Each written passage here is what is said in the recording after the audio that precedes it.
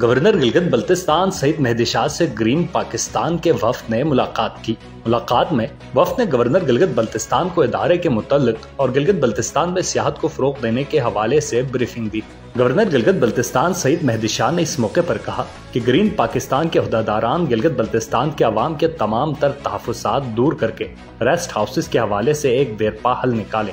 Green Pakistan के अहदेदारान ने गवर्नर गिलगित बल्तिस्तान सईद मेहदी शाह को यकीन दिलाया कि वो इस मामले में तमाम स्टेक होल्डर्स से बात करके अवाम के तमाम तहफात को दूर करने के लिए इकदाम करेंगे। और जब तक तमाम स्टेक होल्डर्स को एतमाद में नहीं लेते, तब तक कोई भी यकतरफा फैसला नहीं करेंगे।